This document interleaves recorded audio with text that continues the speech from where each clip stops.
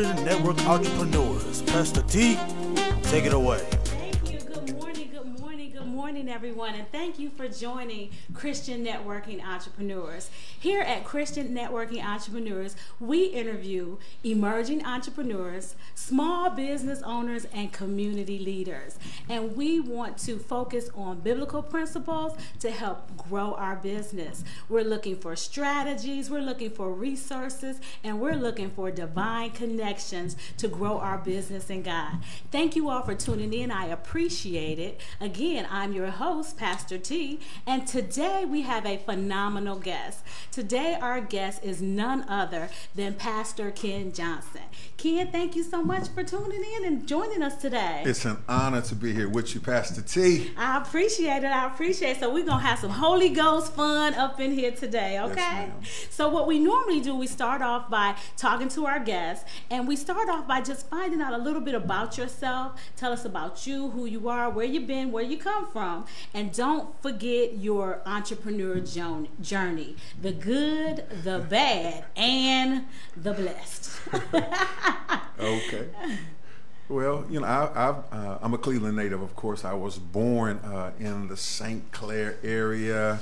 Uh, East Cleveland is really where I, I, was uh, raised long term, but uh, my journey has been very uh, amazing. You know, I, I grew up in a very toxic environment. Somewhat had you know loving people. They love you the best that they can and give you all they can, but didn't have a lot of entrepreneurs in the family. I probably was one of the first uh, to, to branch out uh, and begin to do entrepreneurship. But some of the things that uh, you know I've done uh, since a young man is I have really. I, I bought my first apartment building when I was 17. Really? It was right up the street on uh, 79th. It wasn't a great uh, situation, but I bought a, a four suiter and a three family. I was 17, about to be 18, but I was doing a whole lot of bad stuff uh, to be in position. But I bought uh, my first uh, four family, and it was a three bedroom, and then I bought a three uh, family. And that three family was amazing because I have never seen so many roaches in my life. You, you, you would literally walk up in this house, and we had the clamp, we had Jed Clampett, the black version, living in there,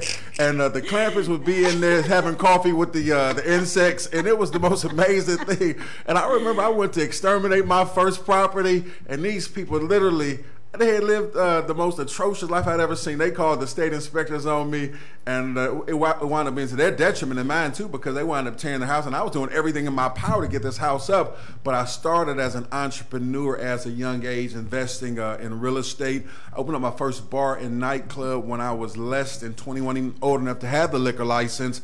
Uh, but I opened up a place that was called Club Rich, and it's a very popular place off 140. Of today, it's called Calypso's. I created the uh, Calypso's brand, uh, as well as uh, Mr. Wonderful's uh, Chicken and Waffles. And Wow. uh, and so you know we've been around uh, a few blocks, so I can talk about uh, you know some of the journey along the way. One of the things that I, I when I talk about um, how I was raised, I didn't, I've never met my natural father. I did have some fathers that were in my life, uh, a stepfather, but he battled addiction issues, and then I had a man uh, that I met right before I was 16, and he was one of the biggest drug dealers uh, the city of Cleveland has ever seen. He was a multimillionaire, uh, and he was shot on right before I was about to turn 16. He was killed uh, September 15, 1987, and uh, but he was an entrepreneur, and uh, and so I really liked uh, his swag. But I had to learn on my own. No one taught me. And I think that's one of the things that that people struggle with is that we we hadn't had the foundation. When we look at other races, they've had foundations of millionaires, foundations of entrepreneurs, foundations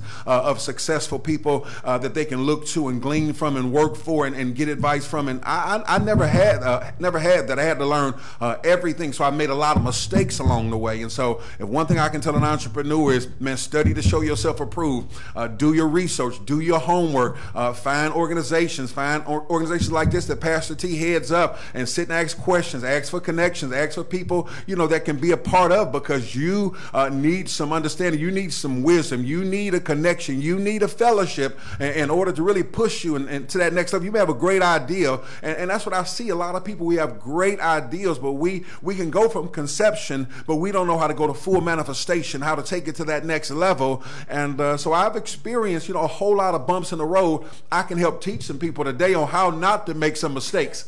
You know, I, I literally know.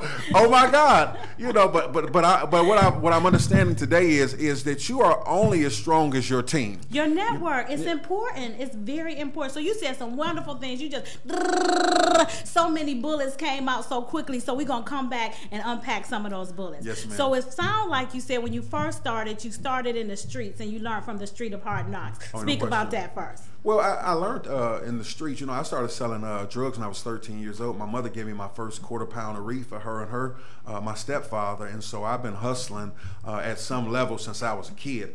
And so, uh, you know, that gave me a whole lot of street savvy on how to how to be able to go out there and make it happen. I remember one time, uh, this was right after the man that uh, was on my birth certificate. Uh, he had, he was killed. Uh, he had literally a room full of uh, Fila uh, swimsuits and T-shirts. And so, literally, I'm not even 16 years old, but I got maybe twenty thousand dollars worth of goods inside of this room, and I'm going door to door. I'm going bar to bar, and I'm selling these, you know, these T-shirts. But so what I've learned is a closed mouth don't get fed.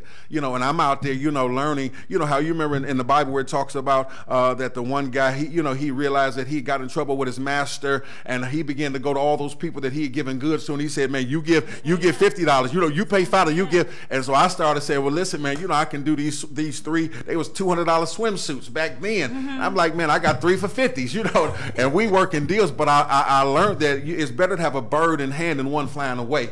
And so, you know, and so I began to hustle, you know, at a young age. And uh, before I was 20 years old, I opened up my first bar restaurant, uh, and it was off 140th. And, and I'll never forget, you know, is that, uh, and I tell pastors this today, I use this story, is that when I was young and getting ready to open up my bar uh, and restaurant, no, it was, it was first the bar, and then I, I, I built the restaurant to go along with it. But I was out there uh, at every place where there were people passing out flyers. I, and I'm on one leg now. You know, my story is, you know, I'm on one leg. I lost my leg coming from Cedar Point Prime Weekend uh, back in 1989. But I'm on I'm on one leg, and I'm out here grinding. You know, because I'm not going I'm I'm not going to let the next person outwork me. You know, and so I'm out there, you know, making it happen. And I remember I went everywhere. I'm at the Mirage. I'm at all the clubs. I'm I'm everywhere where there's people. And at our grand opening, I'm riding down I-90 and I'm singing Chris Bender. You know, my my, my roof open, get ready for the grand opening. You, which one will I choose? About the ball out of control. And uh, and I remember getting there when I pulled up, there was a line of people outside the door on both sides of the street lined up to get inside of this, this little club. And what I've learned is, is that a closed mouth don't get fed and lazy people get slaughtered.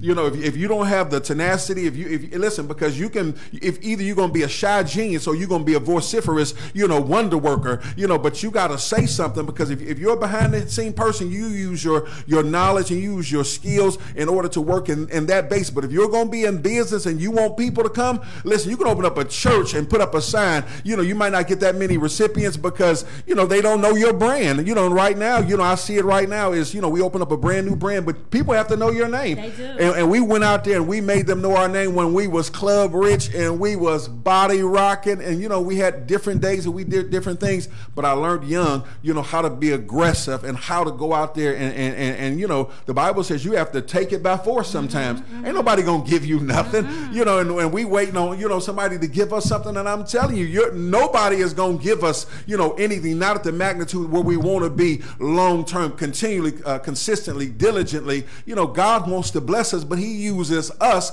to bless us. You got to get up and you got to make it happen. You ought to shout that right now. Make, it, happen. Yeah. He gives us the power to get wealth. That's what the scripture says. So, in knowing that God gives us the power to get wealth, and what you're talking about is marketing and promotions, right? Mm-hmm. So, you as the entrepreneur need to market the brand, which is you. Right. You are the brand. So in entrepreneurship, we have to understand that we are our brand. And the number one thing that we're selling is ourselves. Right.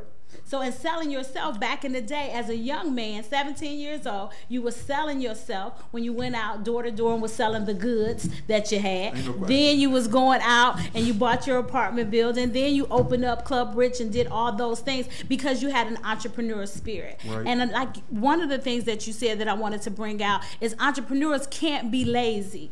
And it sounds like you were saying, I don't want to put words in your mouth, but you have to operate out of a sense of urgency. Yes, yes. Well, I, I know uh, when I look at people today, there's no urgency. Ooh, everything And- and, urgent. Yeah, you know, and, and you know, I'm in the restaurant business, and I tell these young people that work for me, like you, you know, like I'm getting ready to, to have a meeting with someone, let them know you you need to work with urgency. Urgency. You know, because the customer don't want to hear you had a bad day, you overslept, you did no, they, they don't care about you smoked a pound of reefer last night. They want their food within a reasonable amount of time. You have to be urgent. You know, and, and what I realize is this is I just went from 17 to 47 so fast. I'm trying to figure Ooh-wee. out did these 30 years go, right? And I'm sitting up there saying, no, I, I got I got about I got about eight strong years of urgency. At 55, I plan on being on absolute, Hello? you know, cruise Hello? control. And, and so we have to be uh, urgent, you know, and, and people are letting their, their lives pass them by and are not experiencing the good life. He has come that we might have life uh, and that more abundantly to the excess till it overflows to the full. And we're not having a full life. We are existing. And many of us, we have, we have gone ahead and we have put lipstick on that elephant.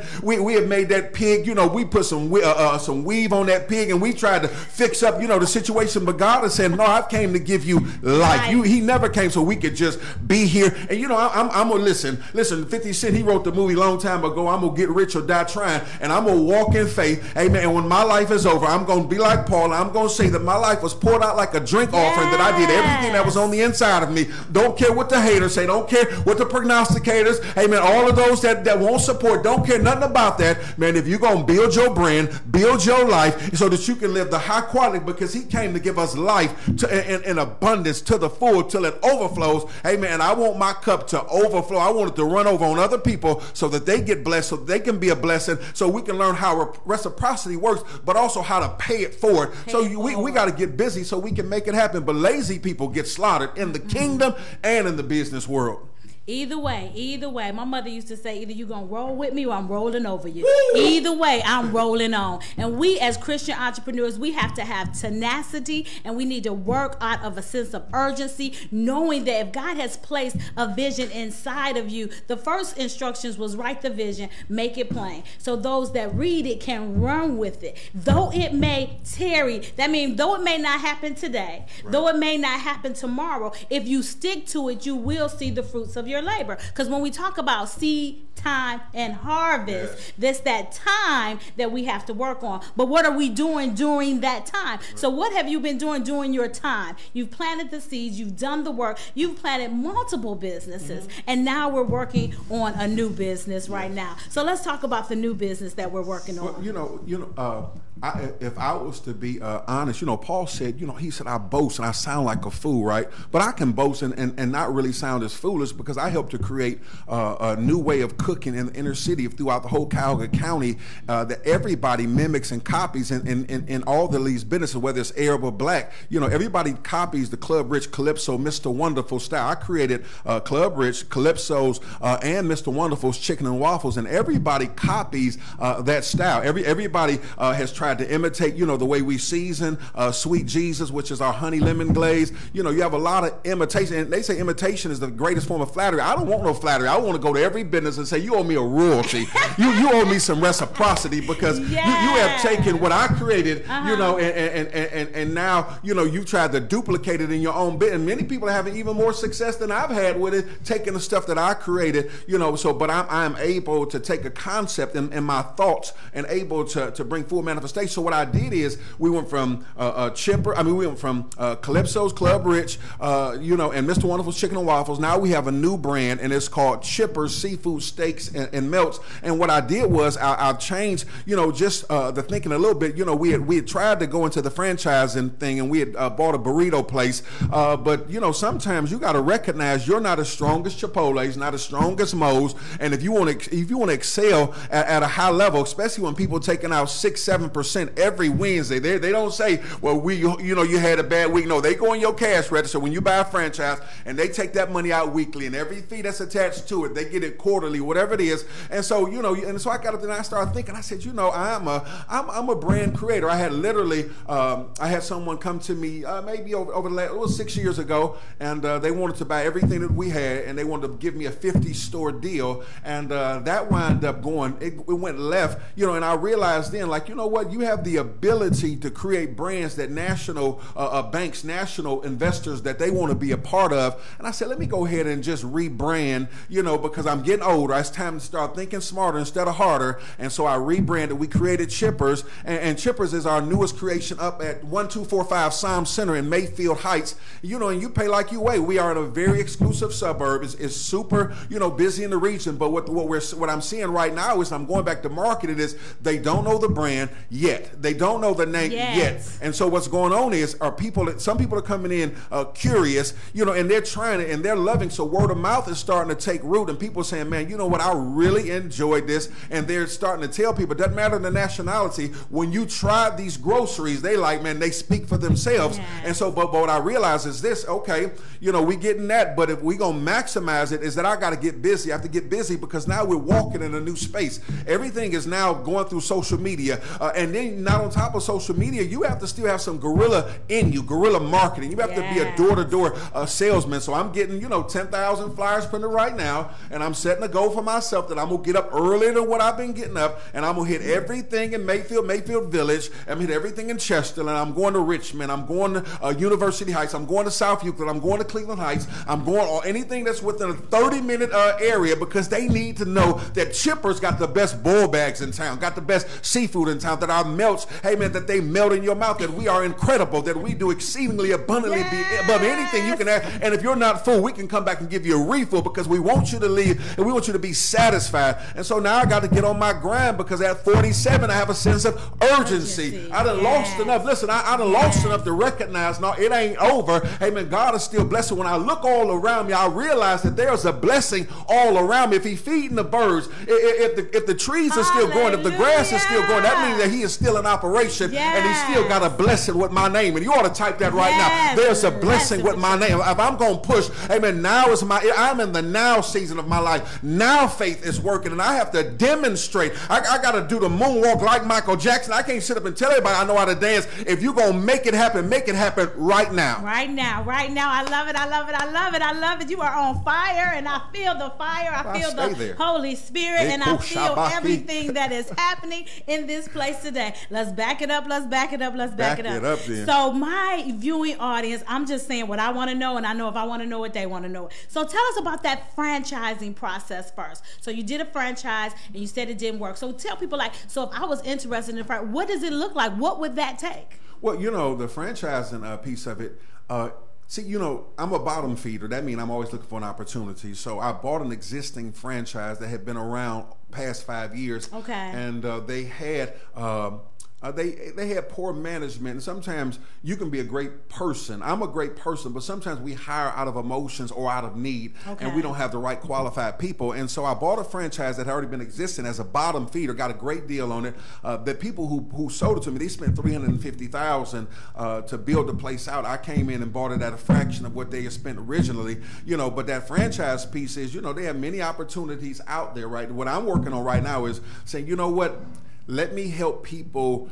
go to a space with Mr. Wonderfuls, Calypsos, Chippers. You know, these are my brands because I'm working on my franchise because I'm Mm-hmm. Right. saying we can do this at a fraction Right, of a cost right. because I Same know how to take a little bit, right, and turn it into much. I opened up five restaurants in 24 months, starting with less than $20,000. You know, God. open up five stores. You know, when we did when we did club uh, uh, Mr. Wonderfuls, it blew so fast, right? You know, but what I came to realize was this: is that what it wasn't the wise thing because you got to have good locations and you got to have a strong team. And so that franchise piece, you know, like like what what uh, Hot Head's want, you know, which is a burrito place we had dealt with. You know, you coming in, you're going to spend three hundred and fifty thousand dollars. Now that their new bar is really four fifty that they want you to spend. I'm sitting up there saying, if we spend three fifty, I can open up mm, maybe three locations for Yeah, three fifty. I can do four locations, Yeah. and I can still get the same amount of uh, uh, of unit Revenue, value. I can, you know, and so it's just about you know using some. But if you if you want a proven uh, a brand, you find a brand out there in the franchise space that you know that people know that brand, they know that name and that they have proven results that they win. Like any day of the week, you can give me a Chick Fil A, you can give me a Popeyes. I will take one of them. But but Chick Fil A has a, has a special program that you can get on. But it's it's very it's one in a million chance. But if you get it, it's, it's, it's a great opportunity. You know. But other brands have good good opportunity. But I got a, a brand that we're gonna have a good opportunity. You know. But but but but what you have to realize is with franchising come with a lot of upfront money, great credit, and they're going to get six to seven percent every week out of your cash register, and you have no say. So they go right in and they take the money. So just be prepared for that. But if you're winning at a high level, you don't mind don't six or seven percent don't because you're winning. So that's what we want to do is we want to concentrate on winning because many times people trip over pennies on their way to dollars and they lose out on the blessing, Ooh-wee. you know, of being Ooh-wee. great because they penny pinching too hard. Now I don't want the cheapest space no more. That's I don't right. want eight hundred dollar a month rent no more. I'm just gonna be honest. You know, I pay four, five thousand, ten thousand, or whatever it's gonna take if I'm gonna get a winning opportunity. And many people they keep looking at uh, uh, at space and, and how much they can afford, but sometimes you gotta just know how to negotiate. Now I can't give you all the game. I I'm gonna be you, like I Jay-Z. He like I, he said I'm gonna give you a million dollar game for nine ninety nine. You gotta pay for something. You know we do do consulting, right? But but at the end of the day, you gotta know how to negotiate the lease, negotiate the contract, Yes. negotiate the build out. You can get some of this stuff all inclusive, and they're gonna back it out later. But you can get your start with a little bit of nothing, but a good conversation, a vision, and some credit.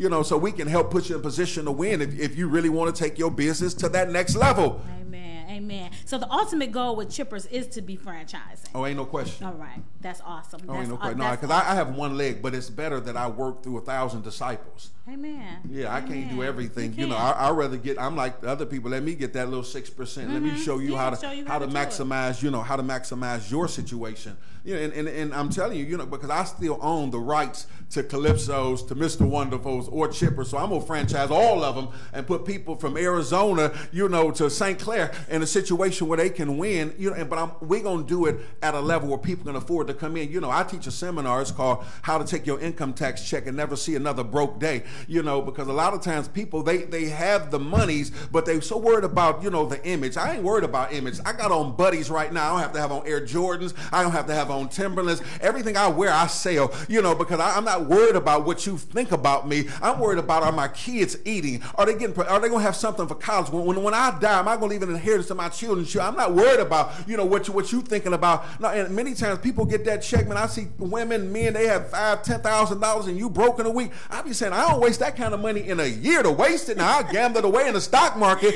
you know. But I ain't gonna just go and say, man, I bought me some George. Check these out because those are depreciating. Uh, they're liabilities. They're not assets. They depreciate. The moment that you you buy them, they they, they lose value. And so we we want to teach people how to have value of building lives, taking a little and multiplying it. You know, I, I, I taught one time. I said, man, you know, I, I was selling socks, and there wasn't no shame in my game. But I'm buying socks at, at forty cent a clip, and I'm selling for five dollars a pair. And you sitting up there laughing at me because I'm the sock man. I, I just whatever it's gonna take, but I know how to multiply because you can take fifty dollars and buy you 125 pair of socks and go out there and take that. And if you only got two dollars a pair, that's a three hundred dollar you know investment that you that you receive back, and then you take that three hundred. But the thing is compounding it, multiplying it, growing it, learning how to make it happen. But a closed mouth don't get fed, and lazy folk get slaughtered. Somebody say, make it happen. Make it happen. Well, you gonna have me preaching this morning like it's. Sunday morning. Hallelujah. I'm loving it. I'm loving it. I'm loving it. So, Pastor Ken talking about the cost of goods sold. He's talking about getting an ROI, a return on your investment. He's talking about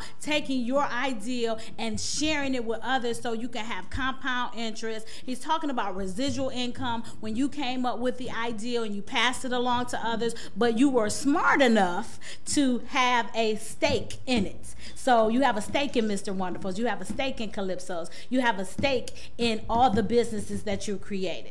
Is that what I hear you saying? I have the the ownership at the top. Okay.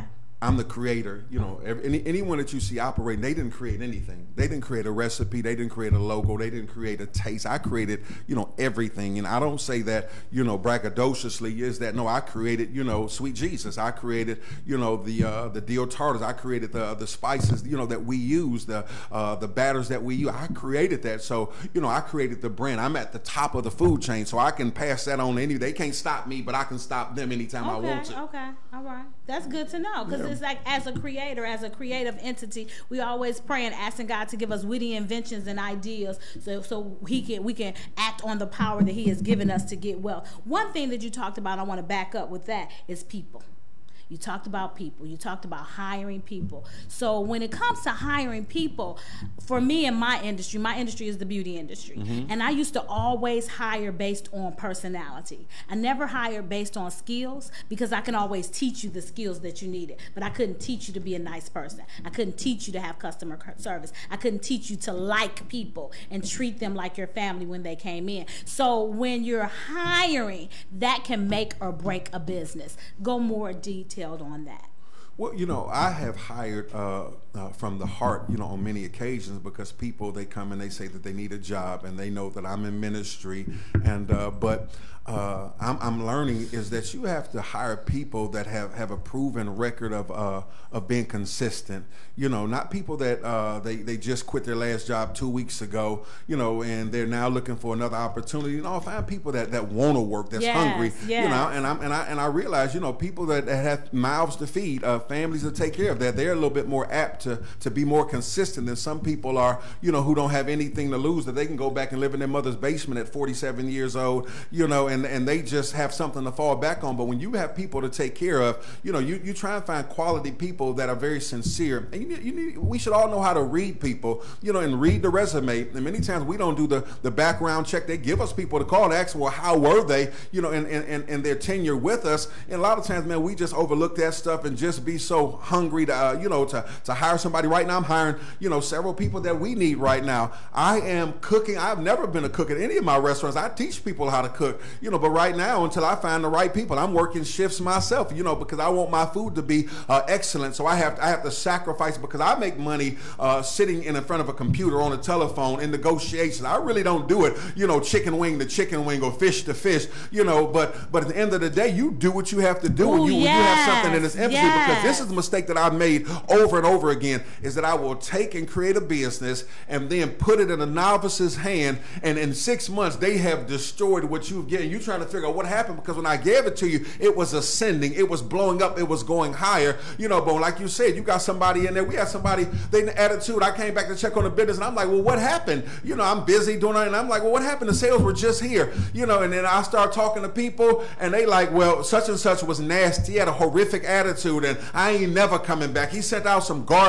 and I have I have a no junk policy. Listen, if it ain't good enough for you to pay for it, when you look at it, don't send it out. Be honest with the customer. I burnt your shrimp. I don't want to give you that. People will respect that. For you, to, you know, there was a woman the other day. I had I had a, a cooking training, and I looked up at them shrimp, and them shrimp, man, they was you know they looked like them boys was they was dark chocolate. I was like, and so I, I told the woman, I said, ma'am, you know, I said if you just give me a minute, I said I want to go back and make sure that these shrimp are right, Yes, you know, and, and I gave her some extra shrimp, some Yes. extra fish for her time, you know. But at the end of the day, he was gonna send out some garbage, and I had to let him know we have a no junk policy. You know, if it's not right, it's gonna come out your check. My check, yeah, you sent out the junk, it's gonna come out your check. That's where they want to fight and cuss you out. But you need to understand that there's a standard, and we ought to keep the standard high. You know, because people will brutally, hey man, hurt you online if you make a mistake. And I'm talking about they, they, the people don't want to care about, you know, you blew it that you just got started. No, hey man, your name is on the line, and so you have to make sure that you find quality people that, that are concerned with care, that know how to follow directions, and, and that can be corrected because correction is for direction. So when you find people and you realize, you know, that you can't tell them nothing, that they know everything, that might not be the right employee for you because they're coming up under your auspice and leadership. In order for them, for your place to go to the next level, they have to fi- follow your recipe. I had a guy one time. I said, "Listen, this is how we make the barbecue sauce. Everything is written, written down for you." And so when I walked into the place, uh, I, the barbecue sauce had five pounds of butter floating at the top, and, I, and so I blew my wig. I just blew it for a second, and I go, you know, yappity yap, you know, don't come back, you know. But at the end of the day, you know, I sit up there saying, "Why would you put butter in my barbecue sauce?" The recipe does not call for that. and, and that's that's why many times people are destroyed and they will take you along their journey and go off and get another job after they've left you in total utter destruction you know because they don't know how to follow the simplistic route of following directions Just And that's- follow the recipe. That's important. That's very important. So, in talking about the people that you hire and the importance that you have people that are dependable, reliable, and available, not hiring out of your emotions, using your discernment when people are coming to get a job. And like you talked about, doing your due diligence, check their resume, call their references, and see what they have to say about them. Me being in management in my current position, when I call some um, of the references, sometimes they don't even give them a good review. And I'm thinking, wow, they put this person's name down. Did they know that they were not going to give them a good review? But I thank God that that person was honest to say what it is that they felt about that person not being on time or not being dependable or not being available. You talked about some other things, and I want to pull them out. You talked about the sacrifice, you talked about the integrity, and you also talked about correction when it comes to dealing people. So let's start with the sacrifice first. When you're in business as an entrepreneur, there is a sacrificial things that will take place. So I, I, look at it as like priority. What's a priority, right? So as we're working out of a sense of urgency and knowing that as entrepreneurs, we have to sacrifice. So speak to that. Well, you know, sacrifice is the, the name of the game. I mean, when you, especially when you're dealing with a, uh, a hands-on business, you know, I mean, as a beautician or, or, or nail tech, you can't sacrifice, uh, you know, quality, and somebody else can do your job. You can't leave your child there and say, "Well, I need you to, you know, do something." No, they come in, you know, to you. So you have to sacrifice, you know, your time. When you're in the restaurant business, right, you have to sacrifice, you know, your time if you want to win. And what I'm saying is that we, we will win at the highest levels uh, once we have proper training and the proper people in place. But until then, and you know that that has been uh, uh put in place, you have to sacrifice to be there. You know, me, me and my wife and my kids, we there right now. I have a 14 year old she can cook. My 16 year old, uh, when Kaz uh, owner Larry James, he comes by, he says, I want Kristen to cook my salmon, you know, but my baby at 16, you know, she can make some incredible salmon. I can, I can leave them in position, you know, uh, put them in place because uh, they, they know how to work it, but I can't just trust anybody else, right. you know, with our goods. No, we have to be there over, so you have to be there hands on. You have to taste this stuff, you know, to make sure that it's going out fresh and correct on a daily basis. A lot of times, man, we just trust people to do right. People do not respect respect what you expect. They only respect what you inspect. All and so right. that means that you have to stay on top of your game. Yes. You got you have to inspect, you know, every area of your business. You know, I'm sitting up there saying I'm going to bed late, waking up early. You know, this morning I was sitting there, you know, we coming out uh, with an adjusted menu because I see over the first two months what's hot and what's not and what's too labor intensive. And so I'm, I'm, I'm clearing, I'm, I'm bringing clarity to myself and my yes. menu. And so I'm sitting there this morning, I'm dealing with the, uh, the designers and saying, take this away, add this. You know, I see these little typos and this has been going on for three weeks, the redo you know, but but I'm sacrificing saying, no, you know, we're gonna get this right, you know, and, and because my next move has to be my best move. So I'm sacrificing my time right now. And, and like I told you, all as we close out September and October, because the winter months are coming, is that I'm about to pass out 10,000 flyers. I'm going to every business in surrounding communities, and I'm going, I'm going there with a team to, to pass out some coupons because listen, there is no money shortages in the earth. What it's there not. is is it is the sacrificial of our time, us sacrificing what it's going to take because they're not just going to come because you put up a sign. You can buy the most beautiful sign, but if they do not know your brand, your taste, your flavor, your swag, you will sit there and die having the best product on the block, but nobody coming in to enjoy it. So I'm taking it to the street. So I'm sacrificing my, my mornings. I'm getting up, and my goal is, is that I get out at least two hours every day before we open at 11 o'clock and meet business owners in the community and surrounding communities so we can set ourselves up to win long long term. And then as I prepare for our catering season during Christmas time, you know, I'm making phone calls. I'm cold calling because I need you to give me an opportunity. You know, let me service your thousand employees. Let, let me get you some uh, crazy because I can do anything from hibachi, amen, to soul food, whatever whatever you want, I can make it. And if I don't know how, I know how to study to show myself approved and practice because practice, you may not get perfect, but practice will get you into a place of perfection where you can walk at another level. Walking at another level, that's what it's all about. So understanding the sacrifice and understanding that you have to put the work in to get the results that you want. And understanding that as an entrepreneur, you can't just say what you want. You have to inspect what you expect. And in inspecting what you expecting, if it's not producing the way that you wanted to, to it to produce, then there comes the correction and the direction. So in knowing that, let's talk about building your team and working off the gifts of your team.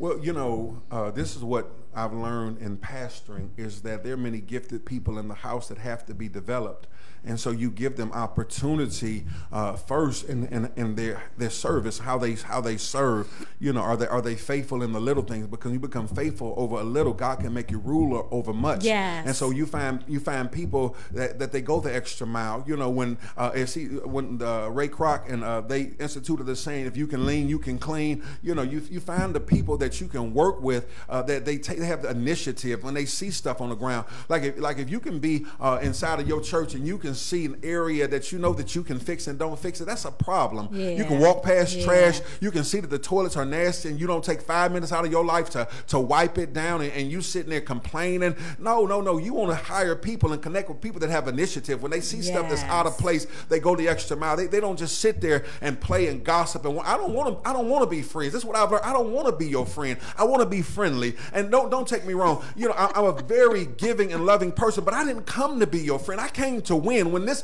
this shift is over, we can go and kick it. But I really don't hang out with people that I work with because you don't need to see me, you know, how I eat. I might uh, eat my French fries and you judge me, you know, he eating too fast, you know, what, but at the end of the day, we came to work. We came to, you know, to become great, you know, and, and if you're going if you're to become great, you have to find people that want to want to be great. They may not know that they're great yet, but yes. you can identify. You have a gift, you know, and I want to help to develop that gift. I, I see you in your own franchise. I see you as my next general manager. I see you, you know, in an eighty thousand dollar year, you know, position, but but but I see it in you because you take on the little things. You man, you have don't nobody have to tell you to do it. You see it and you put it in place. You wash dishes when nobody asks. You wipe down counters when nobody asks you. You take the initiative in order to improve where you're working at because you realize if, if I become great, you become great. Because my whole thing is I believe in reciprocity. I believe in paying it forward. I want to see people win. I put many people in business. You know, I'm talking about I, I, I didn't spend little money. I spent more on their business than some of, some of my own in the beginning. Yes. You know, because I saw people that I wanted to invest in, you know, and make a deposit in, you know, and, and, and that's how you should identify the people that you're around. Man, these people, they have excellent work ethics. Yes. They, they're, they're people, man, they're, they're high character, high integrity people, and they can go to the next level. They just don't know that. And many people know. we are around, God has given them gifts. Ooh. They just don't know how to multiply,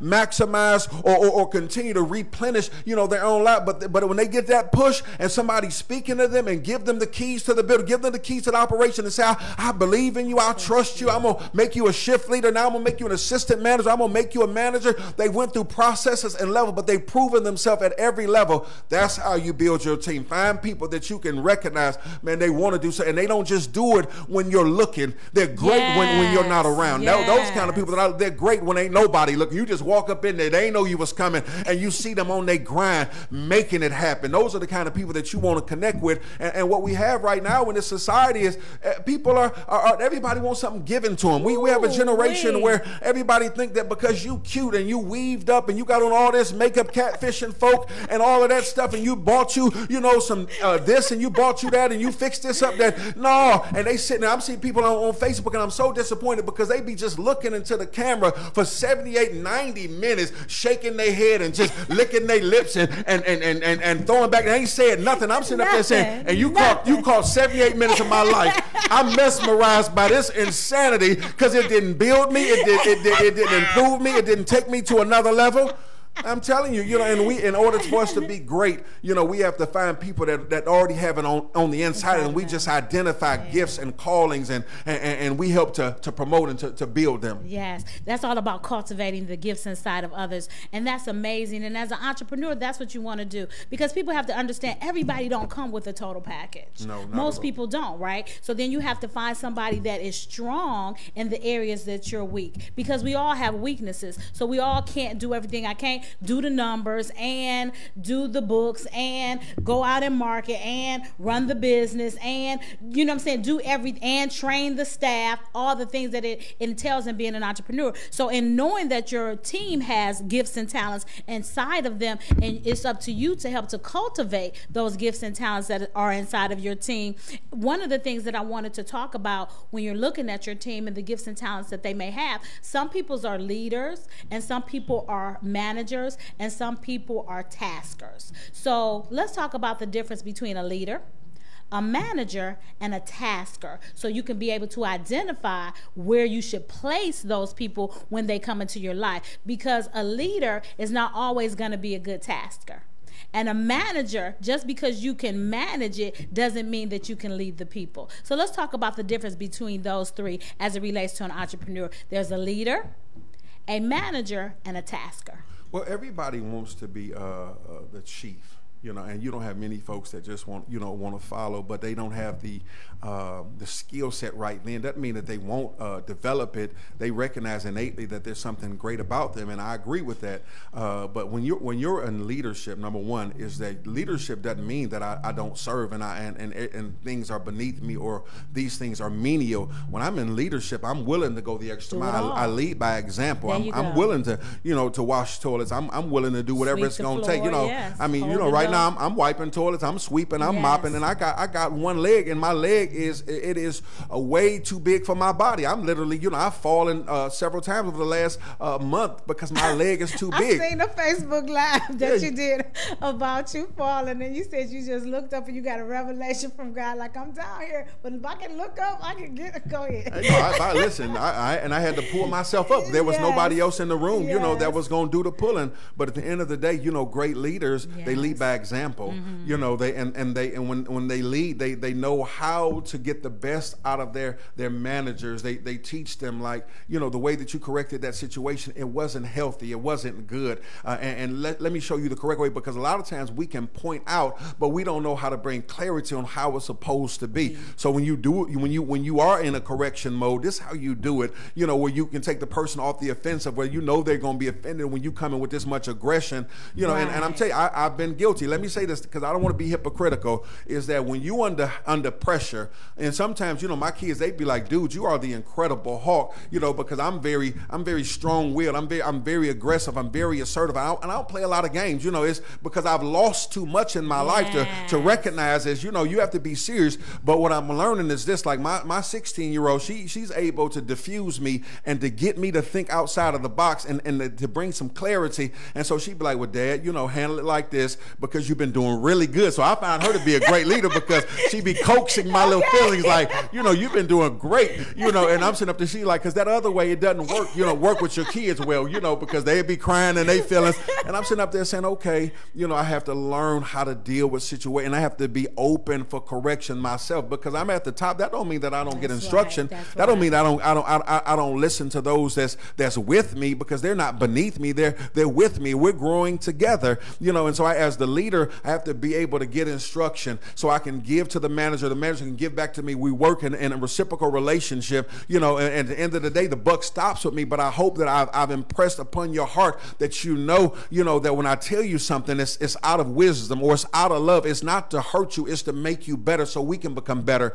And then it's those those tasks that we both have to download into, you know, because their their, their future's on the line. Mm-hmm. There have been a lot of people, you know, that I have just wanted to just just just fire them immediately, and I've given them chance after chance because I recognize is that you know what their their future is right now in in, in, in this work environment. You know, and if I kill them, if I kill their their drive and their motivation, you know, that it, it might affect them uh, when they go out there and, and just become you know ultimately lazy forever. And so I try and and, and, and teach those that are uh, that are in management is you know what you got to encourage them that they can do this. Then show them how to do it. Show them how to die. Show show them how to talk. You know, and a lot of times I, I, I was with a guy and he was just hanging. He was a tasker, and uh, he would listen to me how I dealt with the customer. And I looked up one day, he sounded just like me. and know? that's what you want. And I was out there passing out flyers. I showed him how I did. Next thing I know, boy, he was out there passing out flyers, you know, and, and, and talking to people, and they was coming in, right? You know, and so that tasker, you know, I saw him as being a future leader. Yeah. You know, and so so that's the thing is we have to continue to recognize uh, where people are at and sow into them, pour into them, and and help them so that they can rise to the levels that they were created. Because every one of us were, were created by God to be man. When you look yeah. back at Genesis, you know, he, when he said, let us make man after our image, you know, and let them have dominion, dominion. he wanted all of us to dominate. He really didn't want none of us to have a boss, if yes. I was to be honest. Yes. You know, the, the boss is, is a result of the curse, you know, that was released in the earth. But since it's here and we have to operate in it, we ought to have some integrity, we ought to have some character, we ought to have some vision, and we ought to be consistent and diligent in whatever we do. And we ought to decide to be great so that we can win at the highest levels in our life and help others you know, reach reach greatness for their lives. Amen. I love it. I love it. I love it. So for me, a, a leader is a visionary. So the leader is somebody who has a visionary. I can see where it is that I want us to go. It doesn't necessarily mean I know how to get us there, right? And then the manager is the person who's going to see to the day to day mundane mundane things of how we're going to get there. And the tasker is actually going to do those tasks to get there. But yes, like you said, a tasker can move up and become a manager and then ultimately become a leader. And one thing that you said is next on my list of things to talk about is listening to many advisors. I love the fact that your baby girl, 16 years old, was able to get you together, get you all the way together. Now, one of the things that I learned, I used to be, to uh huh, you got your daddy all the way together, and he said it on Facebook Live. All right. So one of the things that I want to talk about, I remember back in the day, I was taking up a Toastmasters class, and in the Toastmasters class, they told us that when you correct people, you want to do the sandwich effect. And what the sandwich effect is, I want to give you a compliment first, and then I want to give you the what I'm disappointed in or the area of correction, and then I want to come back with a compliment. They said it's easier to people to eat that sandwich than it is to just eat the meat by itself. So I love that, you know, baby girl said, Daddy, you've been doing good in this area. So she gave you the bun. Then she gave you the meat. But you know, when you're talking to certain people, you got to do it like that. And then she came back. So she gave you the sandwich effect without even knowing what the sandwich effect was. Yes, she did. Yes, she did. So now we want to talk about listening to advisors. The Bible says in Proverbs, there's um, cons- um, I'm forgetting the scripture. There's something safety. There's safety in the multitude of counselors. So, baby girl was a counselor for you at that moment. So, let's talk about as an entrepreneur, how much safety is it in listening to a multitude of counselors? And then, when do we know this is meat? I'm gonna eat the meat. This is bones. I'm gonna spit out these bones.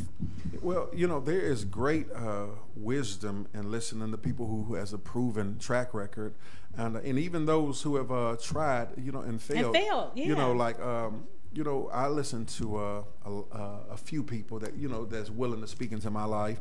Uh, there's a, a, a legend in our city. He comes up to talk to me. Uh, he he started uh, some of the first McDonald's as an African American in Ohio, and uh, he comes by you know all the time, you know, uh, just to talk with me, and he critiques and and tell me what we can do better. And I don't take uh, him as being an old dinosaur or outdated. No, I, I sit here and give him the greatest reverence and honor, you know, because he is he is trailblazed. You know, he's Yes. gone before he opened up, you know, five, ten McDonald's. You know, I mean, I've never done that, reached those heights. But you know, when you got that kind of person speaking into your life, you ought to take heed on, to what they're saying. It doesn't matter, you know, if they're retired now, whatever, you know, because there is great wisdom in the multitude of counsel. So I'm I'm always able, you know, to listen. And then I'm the kind of person that I will seek out, you know, advice. It's just a lot of people uh, when they have something good, they, a lot of times they don't want to share it. You know, whether it's a system, whether it's an opportunity, whether it's a bank, whether it's a, a, a, a divine connection, whatever it is. People, you know, some people are just uh, selfish. My whole thing is I believe in hitting the share button. You know, I believe in asking questions. I believe in promoting other people because I understand biblical principles. Whatsoever man soweth, that shall he also reap. I can never lose, you know, when I'm making an investment or sowing into other people. And so when I'm asking for, for wisdom, I'm asking somebody, you know, to plant a seed in my mind. Give, give me some, how, how do I do this better? Because what I've learned about myself is, is I am a great creator, but I might not be the best manager. Yes. You know, like I'm a great visionary. I can take stuff from conception and bring it into full manifestation, but but I need to be there to help oversee. But I might not be the hands-on, day-to-day person that's going to do uh, every part of the books. That's going to do this, you know. But I understand it, so I try and find people, you know, that that we can work together and, Yes. and, and, and do these things, so so we can so we can win. Amen. So listening to many advisors, that's a good thing, you know, because when people come, everybody has something that they can you can glean from. Right. Like I I've been in the beauty industry for over 30 years now. You don't and look even 30. I'm like, thank you so much. So um it's the glory of God. Hallelujah. But uh, you know what? And um this one lady asked me the other day, she said I was going to a class and she said, You still take classes? You still go to workshops and seminars as it relates to the beauty industry? I said, Yeah, because whenever I go to class, I can always learn something. I said, Let me tell you what I learned one time at this haircutting class that I went to. I didn't learn anything about the skill of haircutting. I learned that you can put a garbage can right next to you, and when you cut the hair, you can throw it right in the garbage can. Wow. So it's like, what are you looking for? So when I'm looking to um, get the advice of many counselors, you can always get something if you're looking to get something. Yes. I'm always looking to get something. I'm always looking to get better, and uh, I've come to find out that you know you can get that uh, through people that you you honor. What you what you what you repel or what you reject, uh, you repel in your life you know, like you, you, I can sit there and listen to your husband talk to me about uh, leadership and, and pastoring or uh, a season that I'm in, and uh, I can listen to his wisdom, and I can I, I, can be encouraged and become better. Or I can sit there and say he don't know nothing, and I reject that anointing and that wisdom, and I repel that blessing that's on his life to come into my life. So it's always good to have an open mind, you know, and, and to realize no matter how gifted you are, you you don't know everything. You don't know everything. You know, I, I, I see I see you sometimes. Uh, Jakes, uh, TD Jakes, he'll have his uh, spiritual father on, on the platforms uh, with these pink and uh, suits on and stuff. And they, I'll be sitting there looking like, man, he looks like a nice country preacher. And uh, you know, and Jakes is very sophisticated and refined now, you know, but he still talks about, you know, he's honoring his father. Yes. You know, he hadn't outgrown, you know, yes. where, where, he's come from. You know, he's, he's gaining wisdom on mm-hmm, how to, mm-hmm, you know, mm-hmm, do ministry. Mm-hmm. But he also has a great uh, multitude of, of the top pastors around the world that he speaks into, and they speak back into his yes. life. You know, and so it's, it's just good to be able to uh, to receive uh, when we're in leadership at any level, and and not to be a know-it-all. Right. You know, and I'm always open. I'm 47 and I'm still open to advice. I'm open to ideas. Like literally, uh, my 14 year old, I sent her uh, the new menu, all of them. I sent all of them the menu to look at. And my 14 year old, she said, You need to remove all of these super chef uh, uh, uh, uh favorites. She was like, We're not ready for that, right? Mm. You know, and these was like five dishes that I wanted to present that I just know people would love. And she said, No, we're not staffed correctly for that right now. And we don't we don't have the equipment to be able to get it out as quick as we like. And you know what I did? I, I took everything off she told me to take off, and I started looking at other stuff that I could take off that was going to take up too much time right now. We're in the while we're in the process of, of getting our brand and our name No, No, we need to be operating on efficiency. But I learned from a 14 year old that we're not ready for that. Amen. I love it. Operating of efficiency. So operating in efficiency and effectiveness. So our, our show is an hour and we down to the last eight minutes. and this has been good. So now is the time for the call to action. So in the call to action, I want you to tell us all about your business, invite us to come, and then we want to invite you all to come to the Christian Networking Entrepreneurs. Because if you like what Pastor Ken shared today, on the 26th, he's going to be talking about the importance or the benefits of collaboration. Christian Networking Entrepreneurs, what we are, we are this show. We do this show monthly every third Thursday at 10 o'clock. Every third Thursday, you can tune in to KAZ and watch Christian Networking Entrepreneurs. But then every quarter, we go and showcase a Christian business and we invite you out for training and networking. So mark your calendars. So let's do our call for action now. First, we're going to do a call for action for the restaurant, and then we're going to talk about the Christian Networking Entrepreneurs. Well, you know, the, uh, the call for action for the restaurant, you know, we are Chippers Seafood Steaks and Melts at uh, 1245 SOM Center, and uh, we are serving incredible food, and we are efficient. We getting uh, the food out. One thing that I, I've, I've, concentrated on is getting that food out quickly and amazing, you know, because I've been to many of our restaurants. When I say our, you know who our is, you know, is that, you know, you being that boy 30, 40, 50 minutes waiting on, you know, a piece of fish or whatever, you know, you be sitting up and saying it don't take that long. And so my whole thing is, you know, we, we're presenting uh, an excellent uh, presentation. The food is amazing. We're going the extra mile. Uh, like with our fish, you know, dinners or our seafood dinners, you know, not only do you get two sides, but you also get coleslaw and honey pups, which is our, our world famous hush puppies that we baptize in that sweet Jesus glaze. You know, so it's a call that you, you have to get there. Come try us out. And, and we make it, as we'll be talking about today, through collaboration. Yeah. You know, we talking about how we support one another, how we build one another, how we promote one another. You cannot be offended when you see somebody doing something that you want to do. No, share their share that opportunity. Tell them go out and support. You come out and try. You come and glean. You come and ask questions. You know because you might want to do the same thing. And I'm actually one of the people in the world that you can sit down and talk. I'm never too busy, amen, to help people. If I'm too busy, I'll make an opportunity or a space to give you, you know, some of my time. You know, but you got to come out and be a part of when we collaborate. You know, we build each other. We grow together. You know, when and, and I'm gonna talk about this on the 20 26, you know, from, it comes from the statement collaboration comes from God. Let us make man. He said, let us. Holy Spirit, the Father, you know, and, and, and the Spirit of God, Jesus, you know, they came together. You know, they collaborated in, in order, you know, to produce a perfect man. You know, let us make man after our image. We have to collaborate. Let us build one another. You know, let us create millionaires. Let us uh, uh, uh pass on the opportunity. Let us help others franchise. Let us pass on wisdom. But we have to work together and we have to do it now. Listen, the world is it, it is on fire all around us. There's destructive destruction taking place, but we have to take this now moment and begin to accelerate. Well, listen, let Jesus in the boat and what, what we've been toiling at all these years, man, he can get us there over over in a matter of seconds, but we have to let him in. We have to work together. I'm saying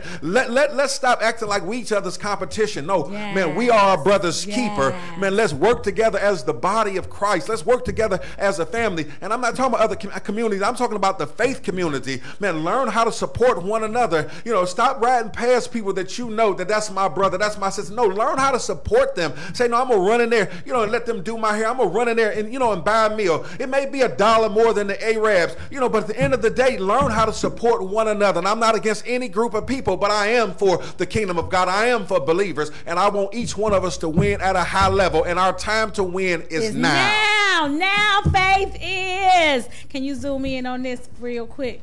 So this is the flyer for Christian Networking Entrepreneurs. We want you to come out and have a wonderful evening and listen to Pastor Ken do a talk about the benefits of collaboration. It is next Thursday, September the 26th at 7 p.m. to 8:30. It's only an hour and a half. So what you can expect, you can expect to come with your business cards. You can network with other Christian um, based entrepreneurs and believers, community leaders, and then we're we're going to have a talk from Pastor Ken. He's going to talk about collaboration. After that, we're going to um, have a meal. We're going to sample some of his food. That's going to be amazing. And then we're going to go home. It's only an hour and a half. So, how you register, please register on Eventbrite. Go to Eventbrite, look up CNE, and register. Why do we need you to register? So we can have enough food. I know a lot of times you just want to stop in. I'm available today. But if you can register in advance, we would greatly appreciate that. It's Thursday. Registration stops on Tuesday night so we can get a good head count of who all is coming. So thank you so much, Pastor Ken. We appreciate you. No, I appreciate you know we, being here. Yes, it's amazing. Any closing remarks before I do well, my final know, close? Yeah, you know, just a couple things. Uh, first, I want to thank you and, and your husband and the organization, you know, for uh, bringing me out. Uh, she has been beyond generous.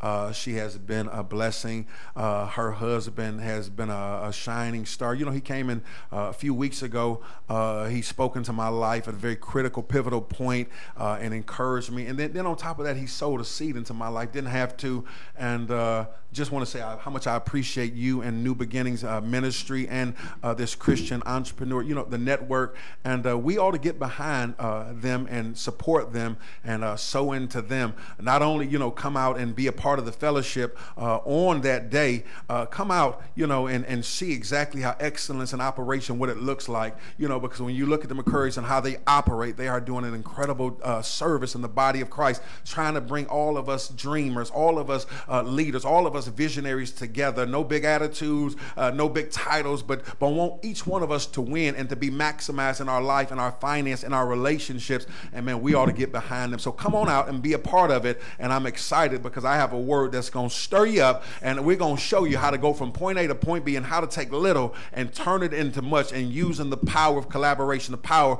of let us make man. Uh, that, that simple statement, let us, that us factor, the us factor can change your life. Amen, amen. So I'm super excited about the 26th. So again, we're Christian Networking Entrepreneurs. I'm your host, Pastor T, and Christian Networking Entrepreneurs are for emerging entrepreneurs. That means somebody just starting out, for small businesses, and for community leaders. We're also looking for people to join our advisory board. So, being a part of the Christian Networking Entrepreneurs Advisory Board, we just come together with great ideas and try to help promote, uplift, and inspire the Christian business community to do everything in excellence and to glorify God in everything that we do. So, if you're interested in being a part of that, you can shoot us an email at info at mynewbeginning.org. That's info at mynewbeginning.org. Or you can give me a call 216 466 3801. Our time is up, and I want to thank you for yours.